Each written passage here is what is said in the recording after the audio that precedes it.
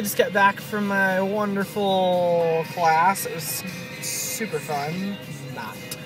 It wasn't bad today. Like some people didn't get it, like at all. What do you have to do? Um. Are you allowed to say? Oh yes, I, I can say this. I can't share my one answers with anybody, but I can say what it was about. But no, like it was. Um, oh gosh. Um, I don't know how to like how to use like terms and connect how to like connect words. Like if you want um, like the word car and like to search like a doc like a case or document like search for the word car and accident.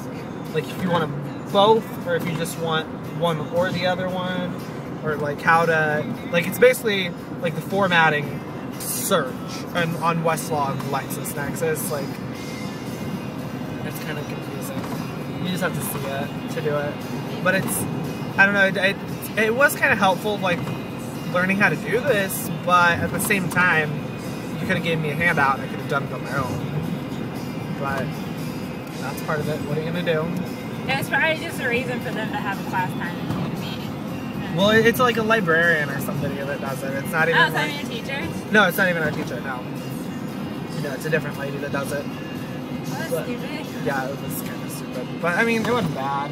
At least it's over, so I don't have to do it anymore. We actually have real class, but we're going back. We're gonna lay out by the pool. I gotta eat my sandwich. I, I didn't make myself one. Did you not make yourself one? No, I was making yours. it was nice of her to make my sandwich. So we're gonna eat that and then go lay out by the pool or swim because it's kind of overcastish. So we didn't get very good sun, but we'll see my favorite.